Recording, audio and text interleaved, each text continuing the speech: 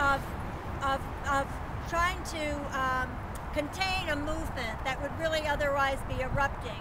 That there's so many um, movement leaders inside, and there are young people inside who would be doing, you know, a lot of kind of the change that we really need to see happen.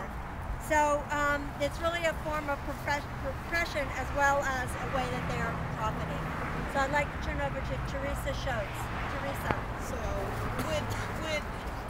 every stand that you take, and we're taking a stand to address the issue of what's going on in California and even right here in Pennsylvania, we're in front of one of the biggest um, county prisons here in Philadelphia. We must take the stand because this is going on all across the country.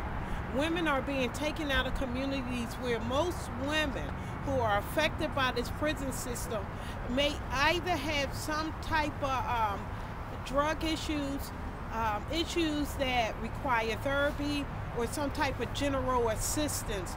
Instead, they're being placed inside of cells where they're away from their families, and we have children that are left behind who are suffering terribly without their uh, mothers.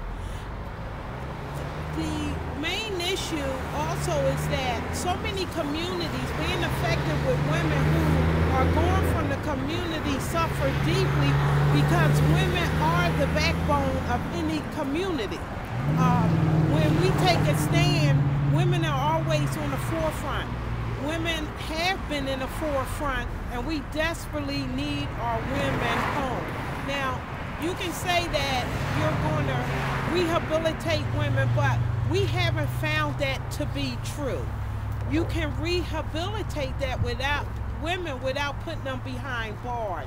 So with that, I'm taking a stand today, as my comrades are, to address this issue of overcrowding, which is not only just taking place in California, here in Pennsylvania, it's all across the country.